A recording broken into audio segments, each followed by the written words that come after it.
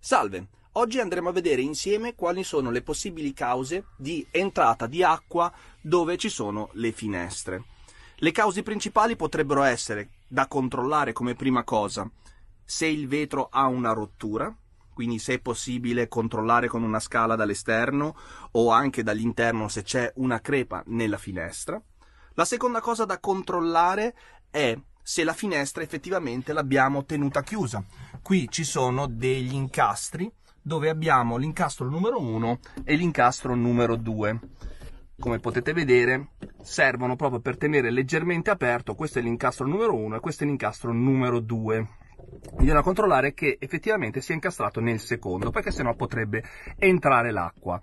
Quali sono le altre cause che possono far entrare l'acqua senza nessun danno Ehm, quali sono le cause che possono fare entrare l'acqua senza che ci sia veramente una rottura?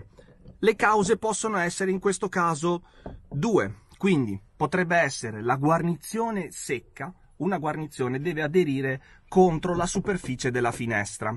Se questa guarnizione si è seccata perché da molto che è stata chiusa, c'è andata un po' di polvere, può non avere la sua efficienza normale, cioè quella di evitare che entri dei detriti e acqua. Quindi cosa bisognerebbe fare prima, nel, nel primo caso? Prendere un panno umido e andare a pulire la guarnizione. Dopo averla pulita, bisogna utilizzare un spray siliconico per cercare di farla diventare di nuovo eh, più tenera come da originale. Questa è la prima soluzione. Se entra ancora d'acqua, le, i casi sono altri. Vediamo il secondo caso. Come per esempio in questo caso qui, che la guarnizione è buona, non è secca, il problema è questo. Come potete vedere, questo incastro è posizionato, non è simmetrico, è asimmetrico. C'è un, una parte che è tangente qui, l'altra parte è più sporgente. Se noi questo qui lo smontiamo e lo giriamo al contrario, questa parte più sporgente finirebbe sotto Finendo sotto riusciamo a tirare di più la guarnizione. Questo è uno di quei casi in cui in casa madre loro assemblano in questa maniera perché se lo mettono al contrario tirerebbe troppo e rischierebbero di spaccare la finestra perché la guarnizione è molto nuova e molto più dura. Adesso, dopo un paio di mesi, la guarnizione si è intenerita, si è viziata, di conseguenza se noi andiamo a chiudere, come potete vedere, avanza dello spazio quindi non va a tirare la finestra come dovrebbe tirarla.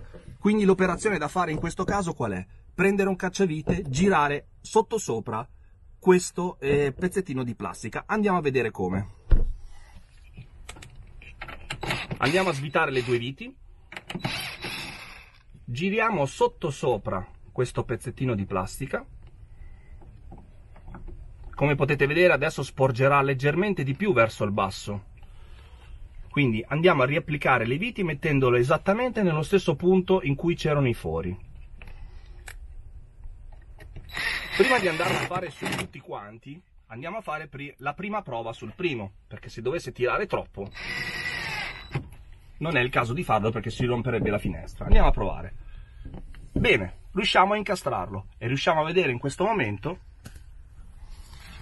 che tira di più e la guarnizione. In tutti i punti adesso aderisce, non facendo più entrare l'acqua come si vede in questo punto, infatti ce l'ha sparata verso l'interno. Qui entrava l'acqua in questa posizione nella parte anteriore, dove praticamente non tirando abbastanza da questo manettino, rimaneva leggermente aperto qui nella fessura. E quindi in caso in cui il camper è in viaggio sotto la pioggia potrebbe entrare l'acqua e trovare dell'acqua all'interno della parte anteriore o addirittura come in questo caso anche da parcheggiato sopra il sedile.